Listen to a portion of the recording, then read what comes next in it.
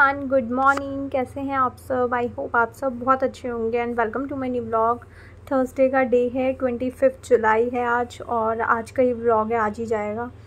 तो मॉर्निंग का टाइम हो गया था, बेटू चले गए थे स्कूल के लिए और यहाँ पे मैंने गर्मा गर्म टी बनाने के लिए रख दी थी क्योंकि उसके बाद जब बेटू चली जाती है ना टी बना करके फिर मैं अपनी एक्सरसाइज पे लग जाती हूँ। और फिर उसके बाद यहाँ पे दस बजे के आसपास का टाइम हो गया था और मैंने कुछ ऑर्डर करा था फ़्लिपकार्ट से तो वो मेरे को डिलीवर हुआ था। तो वो भैया ना नीचे, उनके पास एक्स्ट्रा सामान था तो वो बोल रहे थे कि आप ना नीचे से आकर के ले जाओ। और तो फिर ना मैंने उनको बोल दिया था कि आप ना लिफ़्ट में डाल दो, मैं ऊपर से उठा लूँगी। तो फिर उन्होंने लिफ़्ट में छोड़ दिया था और मैंने ऊपर से आकर के फिर पिक कर लिया। और उसके बाद फिर आ गई थी मैं किचन में। आज ना मनीष थोड़ा सा जल्दी निकल गए थे और मॉर्निंग में ना मैंने हल्का फुल्का ही कुछ बनाया था। अब जा कर के मेरे को कुकिंग करनी थी क्योंकि आफ्टरनून में मनीष ने आना था तो फिर इस टाइम पे प्रॉपर खाना मैं बना रही थी। मॉर्निंग में मैंने वो बना दिए थे, क्या बोलते हैं, पोहा। बेटू भी स्कूल में वही लेकर के चली गई थी और फिर जाते हुए मनीष ने भी वही खा लिए थे। तो अब मेरे को प्रॉपर लंच बनाना था। ऑयल की बॉटल भी मेरे को रिफ़िल करनी थी। इसमें जो ऑयल है मस्टर्ड ऑयल इसी से ही मैं कुकिंग करती हूँ। तो वो बिल्कुल फ़िनिश हो गया था। इनफैक्ट कल से ही फ़िनिश हो गया था। मैं डायरेक्ट बॉटल से यूज़ कर रही थी और जो कंटेनर था मेरा मतलब ये ऑयल डिस्पेंसर था, ये बिल्कुल नीट एंड क्लीन था क्योंकि लास्ट टाइम मैंने इसको अच्छे से क्लीन करा था राइस डाल करके। तो ये बिल्कुल अच्छे से क्लीन थी बॉटल और इसको फिर मैंने रिफ़िल कर दिया था। जब भी चीज़ों की क्लीनिंग की ज़रूरत होती है ना तब मैं कर देती हूँ। ऐसा नहीं है कि आ, मतलब दो बार यूज़ करने के बाद ही करूँगी या तीन बार यूज़ करने के बाद ही करूँगी या एक ही बार में कर दूँगी। जब भी नीडेड होता है मैं साथ के साथ क्लीन कर देती हूँ। और जब भी मैं जैसे यूज़ करती हूँ ना बॉटल को भी मैं साथ के साथ क्लीन कर देती हूँ। जैसे ट्रांसफ़र करते हुए हल्की फुल्की ड्रॉप्स वगैरह उस पर गिर जाती है ना तो फिर ऑयली चीज़ के ऊपर ना डस्ट बहुत जल्दी अट्रैक्ट होती है। तो डस्ट उस पर चिपकने सी लगती है मतलब ग्रीसी ग्रीसी सी होने लगती है। तो इसलिए ना ऑयल कंटेनर ऑयल कंटेनर बोल रही हूँ बार बार ऑयल डिस्पेंसर जो है ना, वो मैं साथ के साथ नीट एंड क्लीन करती रहती हूँ, जितनी बार यूज़ करती हूँ, साथ के साथ फिर मैं उसको एक टॉवल से हैंकी से या टिशू से क्लीन कर देती हूँ। उसके बाद आज मैं बनाने वाली थी कड़ी क्योंकि ये छाछ का जो पैकेट था जिसकी लास्ट डेट थी तो फिर मैंने कहा, चलो ये बना देती हूँ। आजकल ना वैसे मैं ये, वो वाली सब्ज़ियाँ ढूंढती रहती हूँ, जो बिना टमाटर के बनानी पड़े। कौन कौन ऐसा कर रहा है, मेरे को कमेंट करके ज़रूर बताना। तो थोड़ा सा क्योंकि टमाटोज़ के आपको रेट पता है कितने ज़्यादा हाई हो गए हैं तो मैं मोस्टली वो वाली सब्ज़ियाँ आजकल ज़्यादा बनाती हूँ, जो बिना टमाटो के बन जाए या फिर जिसमें कम बने, क्योंकि जो ग्रेवी वाली प्यूरी वाली सब्ज़ियाँ हम बनाते हैं ना, मैं वही वाली बनाती हूँ। तो उसमें टमाटो की क्वांटिटी ना काफ़ी लगती है। एक बार में तीन तीन, चार चार टमाटर तो लग ही जाते हैं। तो उसको अवॉइड करने के लिए मैं आजकल वो वाली सब्ज़ियाँ ज़्यादा पिक करती हूँ, जिसमें टमाटर नहीं डलते हैं। तो इसलिए फिर, और छाछ की आज लास्ट डेट भी थी और कुछ समझ नहीं आ रहा था क्या बनाऊँ, क्योंकि कुछ था भी नहीं। फिर मेरे को आलू चंक्स बनाने पड़ती, उसके लिए भी प्यूरी बनानी होती है। तो फिर मैंने सोचा कि चलो छाछ की ना मैं कड़ी ही बना देती हूँ। तो एक जो छोटा पैकेट होता है छाछ का, वो मैंने ले लिया था और ना डायरेक्ट मैंने बेसन उसके अंदर डाल दिया था। मेरे दिमाग से ही निकल गया कि वो बेसन जो है ना, वो अच्छे से फिर घुल नहीं पाएगा। अलग से मतलब उसको फेंट के फिर छाछ में मिक्स करना चाहिए। बट मैंने डायरेक्टली मेरा ध्यान नहीं दिया, मैंने सीधा कंटेनर निकाला और मैंने उसमें डाल दिया। और दूसरी साइड फिर जो कड़ी में पकौड़े बनने होते हैं उसकी मैं प्रिपरेशन कर रही थी। अभी काफ़ी देर लगेगी ना जैसे आ, मतलब इसमें छाछ में पड़ा रहेगा बेसन तो उसकी जो गिल्टियाँ सी बन जाती हैं ना वो फूट जाएँगी अपने आप बहुत देर तक रहने से ठीक हो जाता है। और उसके बाद फिर ये बेसन थोड़ा सा ही मैंने लिया था क्योंकि पकौड़े ज़्यादा बनाने नहीं थे क्योंकि छाछ कम थी और पकौड़े ज़्यादा बना दूँगी ना तो फिर वो सारी कड़ी जो है ना वो पकौड़े ही अब्जॉर्ब कर लेते हैं और सूख सा सूख सी जाती है आ, ये कड़ी। तो वो थोड़े से ही मेरे को बनाने थे उसके अंदर मैंने अजवाइन डाली थी धनिया जो सूखा धनिया होता है ना वो डाला था और सॉल्ट डाला था। और थोड़ा सा चाट मसाला डाला था, अजवाइन डाली थी और उसके साथ साथ गार्लिक गार्लिक और हींग थोड़ी सी भी डाली थी मैंने, वो इसमें शायद मैंने नहीं दिखाई। पकौड़े वगैरह में हींग का फ्लेवर बहुत अच्छा आता है, मेरी मदर इन लॉ बनाती हैं। तो पहले मैं प्लेन बनाती थी विदाउट हींग तो जब मैंने उनके हाथ के खाए थे ना तो मेरे को अच्छे लगे थे, तब से मैं पकौड़े वगैरह में भी हींग यूज़ करने लगी हूँ। और बस यहाँ पे देखो गार्लिक मैंने क्रश करा था थोड़ा सा वो मिक्स कर दिया। गार्लिक का फ्लेवर भी बहुत अच्छा आता है। जैसे आलू के पराठे बनाती हूँ ना मैं, उसमें भी मैं गार्लिक थोड़ा सा ज़रूर ऐड करती हूँ तो अच्छा लगता है।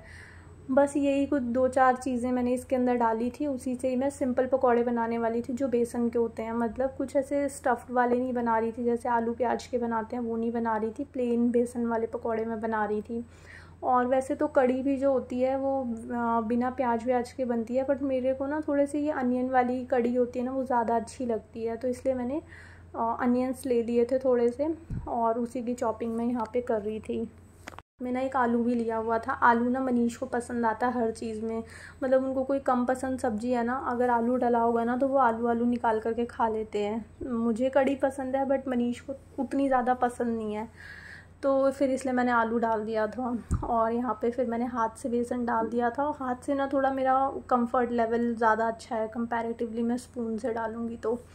और बस यहाँ पे फिर मैंने कढ़ी की भी प्रिपरेशन दूसरी साइड कर ली थी। इसके अंदर मैंने सूखा धनिया और बहुत सारे जैसे छोटे मोटे मसाले जो हम डालते हैं, सूखा धनिया था, अजवाइन थी, जीरा था, लाल मिर्ची ऐसे तोड़ करके डाली हुई थी। ये सिर्फ़ ना मैंने कढ़ी के लिए ही ली हुई अदरवाइज़ लाल मिर्ची तो मैं यूज़ ही नहीं करती हूँ सब्ज़ी में। तो मेरे यहाँ वहाँ पे खाना वाना बन के रेडी हो गया था। कुकिंग से मैं फ्री हो गई थी और उसके बाद मैं नहा धो करके आ गई थी क्योंकि मॉर्निंग में आजकल मैं आ, मतलब काफ़ी देर तक काफ़ी देर तक एक्सरसाइज वगैरह कर रही हूँ। तो उससे मॉर्निंग में ही बहुत स्वेटिंग आई हुई होती है फिर उसके बाद कुकिंग करके आई थी। तो बहुत ज़्यादा मेरे को गर्मी लगने लगी थी तो मैंने फटाफट क्लीनिंग वगैरह निपटाई और मैं नहा करके आ गई थी। मेरे को बेडशीट आज चेंज करनी थी तो मैंने कहा बेडशीट मैं बाद में चेंज कर लूँगी पहले नहा करके आती हूँ क्योंकि गर्मी बहुत यार, यहाँ पे तो मेरे को डरा ही दिया था। मैं ना एकदम सेंटर लॉकिंग के पास बैठ करके अपना वॉइस ओवर कर रही थी, क्योंकि पीछे से ना थोड़ा सा शोर सा आ रहा था तो जब मैं वॉइस ओवर करती हूँ ना, फिर पीछे की बैकग्राउंड वॉइसेस आती रहती हैं। तो मैं वहाँ जा कर के कर रही थी और एकदम से किसी ने ना नीचे से सेंटर लॉकिंग प्रेस कर दी और मेरे कानों पर तेज़ से बेल बजी। और मैं एकदम से हो गई कि ये क्या हो गया? और बस फिर उसके बाद मैंने यहाँ पे बेडशीट वगैरह अच्छे से बिछा ली थी।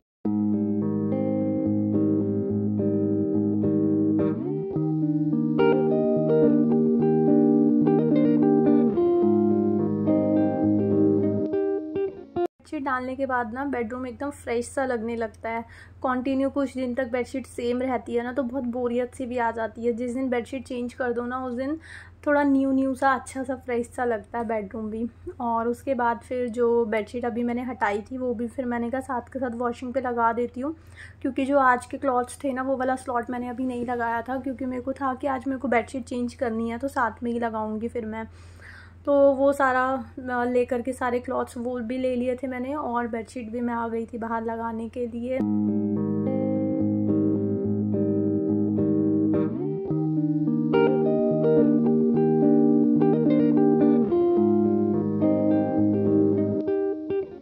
एरियल लिक्विड है मेरा वो भी फिनिश हो गया है, इसको भी मेरे को रिफ़िल करना है अभी तो वो मैं बाद में कर लूँगी।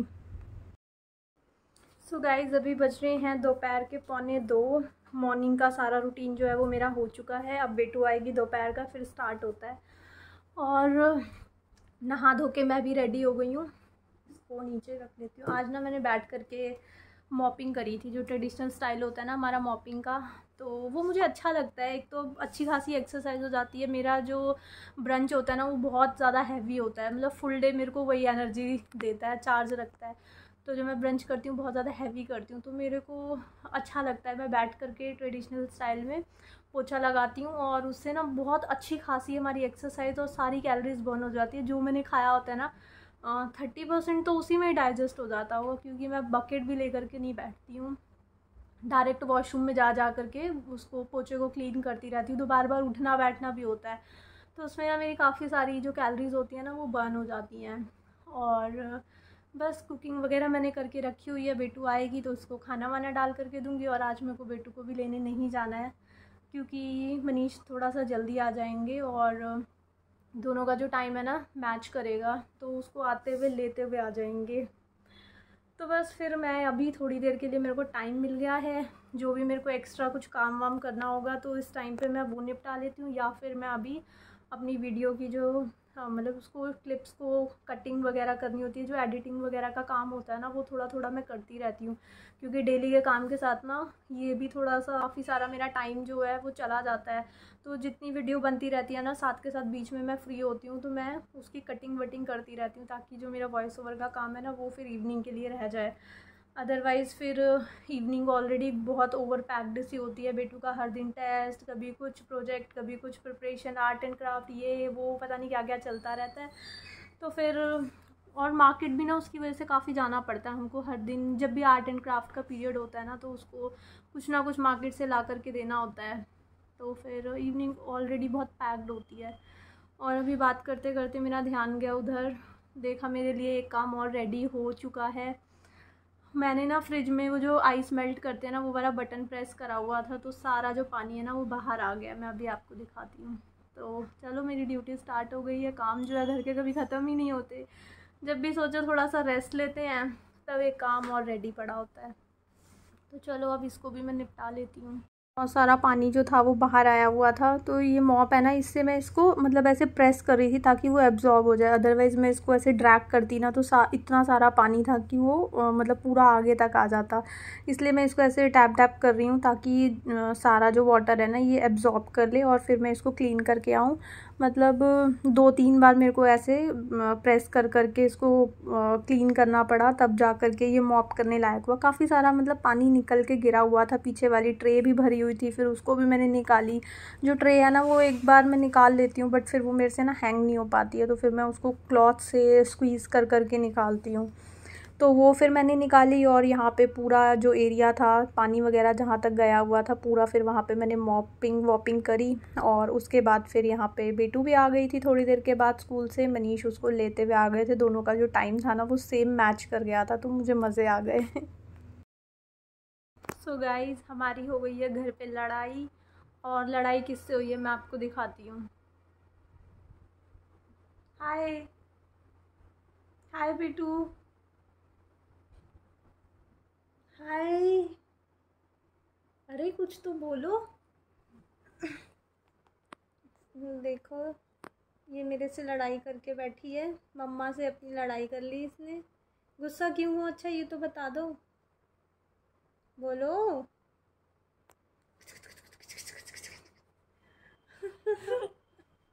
अच्छा बताओ क्यों गुस्सा हो?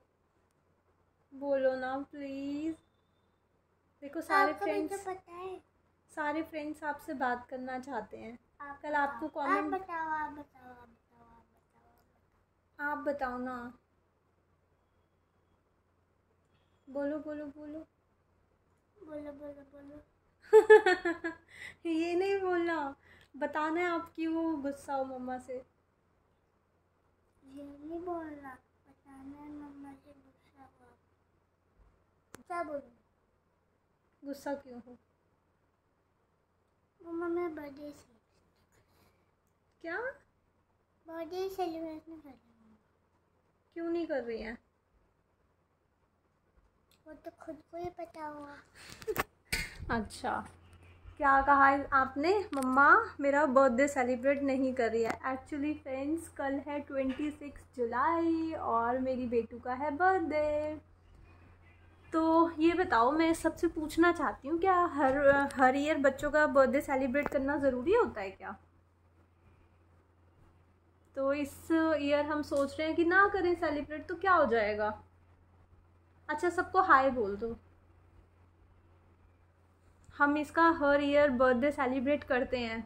तो इस अगर इस साल नहीं करें? अच्छे से नहीं। अच्छे से नहीं? तो तो मुझे बिल्कुल नहीं आपके बर्थडे पे मोस्टली हम सबको तो वो आपको अच्छा ही है। न्यू ड्रेस नहीं दिलाते? मुझे ड्रेस नहीं पसंद आप रोज तो वो पहनने देते नहीं हो। अच्छा, इधर आओ के। पहनने देते। कहानी पहनने देती? किसी की पार्टी हो तब भी नहीं पहनने देते और घर पे भी नहीं पहनने देते। पता नहीं कब पहनने देते। तो वो पार्टी वेयर ड्रेसेस होती हैं वो हैवी हैवी सी फ्रॉक्स होती हैं ना तो वो घर पे क्यों? अगर तो अच्छा तो ये बात है। तो इसलिए मेरी बेटी गुस्सा है हमसे। हम्म? अच्छा रुको रुको रुको रुको रुको। अच्छा हेलो बोल दो। हेलो इधर देख अरे गुस्सा हो गई ये देखो। मेरा केकड़ू बच्चा गुस्सा क्यों हो रहा है? ठीक है जाओ नहीं करते इस ईयर हर ईयर बर्थडे सेलिब्रेट करना ज़रूरी नहीं होता है ना। तो इस ईयर हम बर्थडे सेलिब्रेट नहीं कर रहे हैं आपका। मत करो वैसे भी नहीं था। कह रही है मत करो वैसे भी तो नहीं होना था। तो आप कल स्कूल जाओगे फिर? तो अगर हो ही नहीं तो तो हाँ क्योंकि आपकी ट्वेंटी सेवन से यूटी भी तो स्टार्ट है। सो so गाइज़ अभी बज रहे हैं शाम के साढ़े पाँच और आज का ब्लॉग मैं यहीं पे एंड करती हूँ क्योंकि ये आज ही बन रहा है और आज ही जाएगा इसकी, मेरे को एडिटिंग भी करनी है अभी। तो आज का ब्लॉग मैं यहीं पे एंड करती हूँ। आई होप आपको ये ब्लॉग अच्छा लगा होगा। अगर आपको ये ब्लॉग अच्छा लगे तो इसको लाइक शेयर एंड सब्सक्राइब ज़रूर करना। मिलेंगे एक न्यू वीडियो में। Till then take care friends bye bye